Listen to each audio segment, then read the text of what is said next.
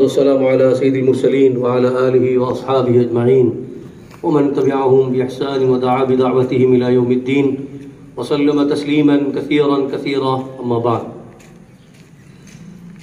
मैं सबसे पहले आज इस खुशी के मौके पर, पचहत्तरवें जश्न योम आज़ादी के मौके पर, मेरी तरफ़ से, मदरसा रहमानिया के इस की तरफ़ से, इंतज़ामिया की तरफ़ से तमाम तलबा की खिदमत में, ज़िम्मेदारान और अहदेदारान की खिदमत में, और आज की इस बज़म में शुरा की खिदमत में, और इसी के साथ साथ बिरादरान वतन की खिदमत में मुबारकबाद पेश करता हूँ। और अल्लाह से दुआ करता हूँ कि अल्लाह ने जो हमें और आपको आज़ादी अता फरमाई है, इस सही मानों में यह आज़ादी हमको ता क़याम क़यामत रहे, और हम इस आज़ादी से फ़ायदा उठाने वाले हों। अज़ीज़ तलबा, आज़ादी की तारीख़ बहुत लंबी है। अगर हम इसकी तारीख़ पर रोशनी डालेंगे तो इससे पहले भी कई सफ़ात लिखे जा चुके हैं, और आज भी ये किताबें कुतुब खानों में, लाइब्रेरी में महफूज हैं। लेकिन ये सब किताबों के हक में महदूद हो गया। मैं उस लंबी तारीख में जाना नहीं चाहता। मौलाना फैया साहब ने मुख्तसरन हिंदुस्तान पहले इस पर कौन हुकूमत कर रहे थे? और उसके बाद अंग्रेज़ जब यहाँ पर तिजारत की गरज से हिंदुस्तान में दाखिल हुए तो उन्होंने इस खूबसूरत मुल्क को देखकर उनकी नीयतों में क्या तब्दीली आई और फिर किस तरह से वो इस पर काबिज हो गए। न सिर्फ़ काबिज हुए, बल्कि मुसलमानों को जो आज़ादी थी और जिस आज़ादाना तरीके से पूरा घूम फिर रहे थे, उनकी आज़ादी को उन्होंने कैसे छीना, ये उसकी बड़ी लंबी तफसीलात हैं। मुख्तसरन ये अर्ज़ करना है कि पहले जब हिंदुस्तान आज़ाद हुआ तो पहले पहल हर साल जिस तरह से योम आज़ादी का जश्न मनाते थे तो इसके अंदर तमामों का तस्करा होता था। सबसे पहले जैसे कि मौलाना ने कहा कि मुसलमानों के हाथों से ये मुल्क छीना गया था तो सबसे ज़्यादा तकलीफ़ और सबसे ज़्यादा दर्द उन्हीं को हुआ था, और ये एहसास उनके दिलों में जाग रहा था कि किसी तरह से ये मुल्क अंग्रेज़ों से वापस लेना है और इसके लिए सबसे पहले कदम पेश बढ़ाने वाले कराम थे। और उन्होंने लोगों के अंदर इसकी तरगीब दी। आज़ादी क्या चीज़ है और गुलामी क्या चीज़ है, उनको वादे करने की कोशिश की। गुलामाना ज़िंदगी से इंसान पर क्या असरात मुरतब होते हैं और एक आज़ादाना तरीके पर ज़िंदगी गुजारने से इंसान किस राह पर तरक्की करता है।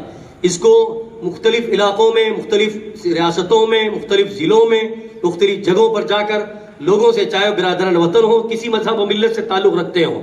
उनको जमा किया उनके अंदर ये आग उनके दिलों के अंदर ये आग रोशन की कि किसी तरह से हमको कोशिश करनी है और आगे बढ़ना है। बहरहाल हर वक्त हर वक्त के धारे के साथ जो हालात सामने आते हैं वो अगर तारीख में देखेंगे तो बास ऐसे गद्दार लोग भी सा, साम, सामने आ गए जिन्होंने हिंदुस्तान की आज़ादी में रुकावटें पैदा की। और अंग्रेज़ों से अंदर अंदर से उनसे जा मिले। और हमारी जो खबरें थी, हमारी जो पॉलिसियाँ थी, और हमारी जो तदबीरें थी, वो जाकर उनको उजागर किया और मुसलमानों को बाद जगहों पर अपने लोगों से शिकस्त खानी पड़ी।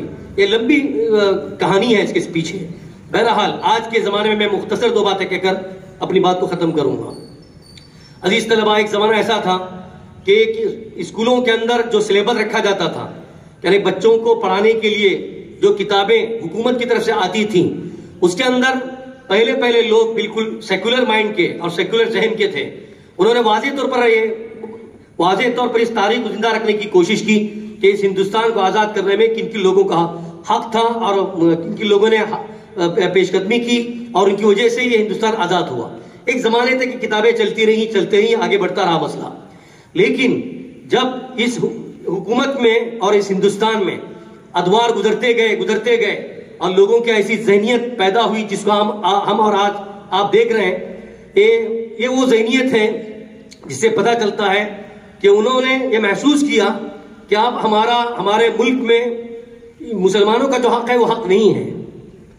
उनकी बात आई है लेकिन जहाँ तक हम समझते हैं कि जितना हिंदुओं का इस पर हक है जितना सिखों का इस पर हक है जितना ईसाइयों का इस पर हक है उसी तरह मुसलमानों का पूरा पूरा इस पर हक मौजूद है। और ये हक हमको कौन देता है? ये हमारी, हमारा कॉन्स्टिट्यूशन हमारा जो यहाँ का जो कानून है, यहाँ का जो दस्तूर है, ये दस्तूर हमको हक देता है। अगर ये चीज़ें जो हैं, जब जैसे जैसे यहाँ पर इलेक्शन हुए इंतबात हुए, कोई किसी पार्टी का सदर मुंतखब हुआ, कोई वजर अजम किसी पार्टी का मुंतखब हुआ तो उसके पीछे जो कारफरमाइयाँ थी, लोगों के जहनों को बदलने की वो सामने आती गई और अभी ये जो वक्त चल रहा है, मैं आपको साफ़ कहता हूँ कि पहली किताबें और आज की किताबों के अंदर अगर हम मुताला करके देखेंगे तो आसमान, ज़मीन का फ़र्क मालूम होता है। कहीं पर किताब खोलती पता चलता है कि कितनी नफरतों की बात लोगों के जहनों में खसूस बच्चों के जहनों बिठाई जाती है। और यही यही वो चीज़ है जैसे जैसे लोग इस वह उस वक्त से दूर होते चले गए आज़ादी से, और हम जिस वक्त करीब आते जा रहे हैं तो हिंदुस्तान के अंदर भी बहुत जगहों पर। लेकिन अल्हम्दुलिल्लाह अल्लाह का शुक्र है कि अगर कुछ लोग मुसलमानों के खिलाफ नारे देते हैं कुछ लोग मुसलमानों को काटने और मारने की बातें करते हैं कुछ लोग उनके हुकूक को छीनने की बातें करते हैं लेकिन सेक्युलर जहानत रखने वाले आज भी ऐसे लोग मौजूद हैं करोड़ों की तादाद में लोग मौजूद हैं जो मुसलमानों के हुकूक को साबित करने के लिए मुसलमान ही नहीं बल्कि दूसरे लोग दूसरे मज़हब के लोग आज अप, अपनी बात रख रहे हैं। जो भी हालात हम देख रहे हैं कि कहीं पर बैठकर मुसलमानों के खिलाफ बोला जाता है कि बोलने वाले चाहे हज़ारों की तादाद में हो, लेकिन जो पीछे लोग होते हैं, लाखों की तादाद में जो लोग होते हैं, वो देखते हैं कि ये किसी मज़हब से ताल्लुक रखने वाले लोग नहीं है। कोई मज़हब किसी मज़हब के ताल्लुक से किसी को काटने की, किसी को मारने की हिदायत और बातें नहीं करता है, बल्कि तमाम मज़हब के अंदर बुनियादी चीज़ों को अगर हम देखेंगे तो अमन की बात करता है, अमान की बात करता है, इसलाह और सलाह की बात करता है, हर मज़हब के लोग। लेकिन जिन जो लोग मज़हब के आड़ में इस तरह की चीज़ें कर रहे हैं, उन्हीं के लोग उनको आज बुरा कह रहे हैं कि हमारा मज़हब, चाहे वो किसी कोई भी मज़हब हो, ये मज़हब इसकी तालीम नहीं देता है, ये हमारे मज़हब के खिलाफ है। ये सब इनकी सियासतें हैं। जहनों के अंदर सियासत काम कर रही है, वही चीज़ें हैं। लेकिन मैं इस तनाजुर में एक बात साफ़ कहना चाहता हूँ। इन वीडियोस को देखकर हमको घबराने की ज़रूरत नहीं है। हम लोग अल्लाह पर ईमान लाए हैं और हमको यकीन है कि इस मुल्क में, इस मुल्क की आज़ादी में हम लोगों ने अपना खून पेश किया है। जैसे कि कहा गया कि जिन लोगों ने अपना पसीना उतना पेश नहीं किया होगा, उससे कई गुना ज़्यादा हम लोगों ने अपना खून पेश किया है। इस मुल्क से हमको हमदर्दी है, इस मुल्क से हमको मोहब्बत है। ये तिरंगा जो लहराया जाता है, ये ऊपर ऊपर की तरफ़ उठता है तो हम ये समझते हैं कि हमारा मुल्क ऊँचा है, हमारे मुल्क की बड़ी आजमत है, हमारे मुल्क की बड़ी कदर है, और हमको समझना भी चाहिए, और मुसलमान इसको अपने दिल से लगाया हुआ है। कोई तारीख ऐसी नहीं मिलती है कि मुसलमानों ने कुछ तदबीरें की हों, अपने मुल्क के खिलाफ और अपने मुल्क से गद्दारी का कोई सबूत पेश किया हो आज़ादी के बाद। बहरहाल, इस, इन वीडियोस को देखकर और इन हालात के तनाजुर में मैं आपसे साफ़ कहता हूँ कि हमारे दिलों के अंदर जज्बा पैदा होना चाहिए, हमारे दिलों के अंदर एहसास पैदा होना चाहिए और हमको ये समझना चाहिए कि इसकी असल हकीकत क्या है, इसको समझने की ज़रूरत है।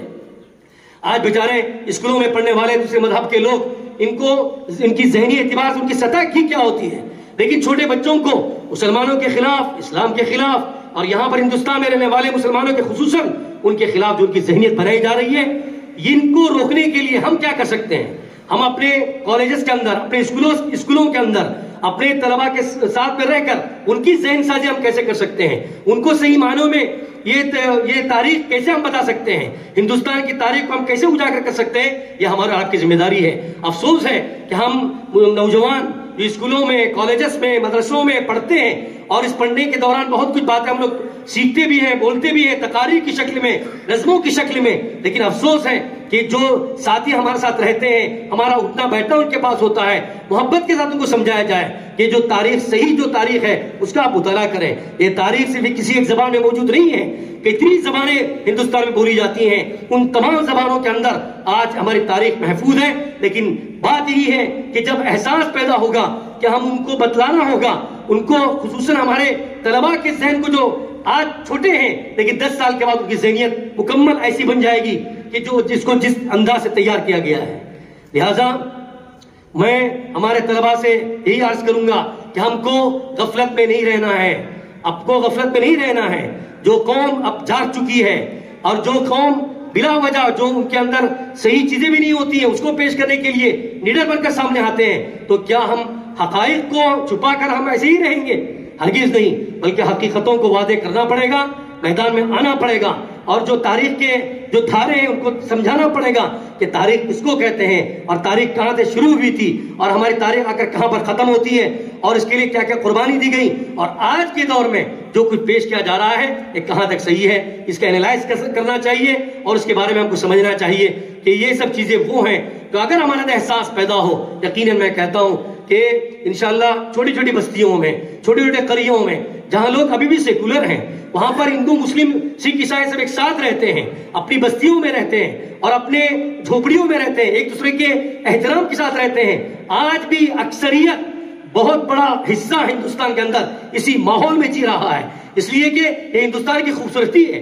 जहाँ पर दूसरे मज़हब के लोग रहते हैं, वहाँ पर और एक दूसरे मज़हब के लोग रहते हैं। आपस में मिलजुल कर रहते हैं। अपनी त्योहारों में, अपनी शादियों में, अपने रस्म रिवाज में एक दूसरे को दावत देते हैं, एक दूसरे हाजिर होते हैं। ये हिंदुस्तान की एक तहजीब है, हिंदुस्तान का कल्चर है, यहाँ की एक तमद्दुन है। इसलिए इसको बाकी रखा जाए। आप आज़ाद मुल्क में ज़िंदगी गुजार रहे हैं। किसी भी मज़हब पर आप अमल कीजिए, कोई रुकने वाला नहीं है। इसलिए कि हमको ये ये आज़ादी कॉन्स्टिट्यूशन देता है, ये हक जो है, हमारा दस्तूर देता है। चाहे मुसलमान बनकर रहे या किसी और मज़हब का ताबे बनकर रहे लेकिन जिस जहाँ पर भी रहे, अमन अमान का अलम्बरदार बनकर रहे। ये सबसे बड़ी बात है। मैं आज के मौके पर, मैं अपने हिंदू भाइयों से भी कहूँगा कि हमारे इस मुल्क को आज़ाद करने में, जिस नीयत के साथ, जिस इरादे के उसको आज़ाद किया गया था, उसी को बरकरार रखा जाए। और वही जो तरतीब है उसको आगे बढ़ाया जाए। बिला वजह अपनी जो जहनीत है उसको लागू करके हालात को खराब न किया जाए। ये, ये हम मोहब्बत का पैगाम आपके सामने पेश करते हैं। हम एक दूसरे के साथ मोहब्बत के साथ रहेंगे अमन के साथ रहेंगे एक दूसरे के प्यार मोहब्बत के साथ इंशाल्लाह रहेंगे तो ज़िंदगी आगे बढ़ेगी एक गुलदस्ता होगा। और ये इसकी खुशबुएँ सब महसूस करेंगे। वरना आज का जो दौर है मेरे मेरे अज़ीज़ तलबा ये हिंदुस्तान में अगर कोई चीज़ हो रही है पूरी दुनिया इसको देख रही है। थोड़े एक दो वाकयात हो गए। एक दो दिन पहले दो चार वर्ष पहले हिंदुस्तान के जो वाकयात हुए, पूरी दुनिया हमारे हिंदुस्तान की जमहूरियत पर उंगली उठा रही है। हमारी आज़ादी पर उंगली उठा रही है। क्यों? इसलिए कि पहले ऐसे वसाइल और इसबाब मौजूद नहीं थे। आज हम किसी छोटे से छोटे गाँव में कोई काम होता है तो पूरी दुनिया उसको देख लेती है।